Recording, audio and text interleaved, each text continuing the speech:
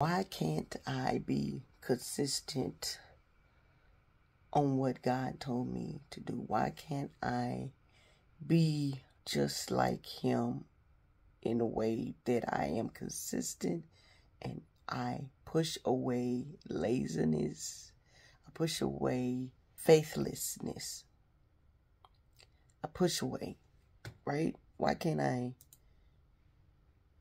stop procrastinating? Why can't I be more consistent? All it would take is my faith, operating in faith, and deciding I can do all things through Christ who strengthens me. Forgetting everything else, forgetting about who wants me to go here, who wants me to go there, who wants me to be on the phone with them, who wants, forget everything else, forget everything else, and do what will make me successful.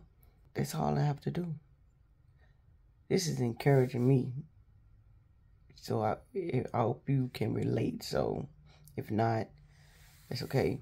But let the Lord in and speak. Speak what you want done in your life.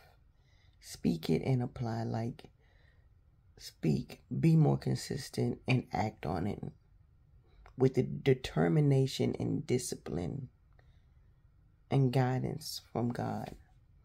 Listening to the Holy Spirit, what He wants you to speak on, what so that you can get it out and God can bless it. More consistency equals blessings.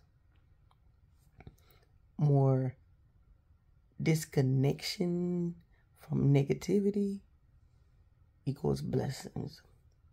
More disconnection from procrastination equals blessings. Let us be more consistent and be more dependable in our own goals. What what we have written down. What we have written down. So that we can be successful. God said, all I all I need you to do is be more consistent. Put the work in. And I'm gonna bless it.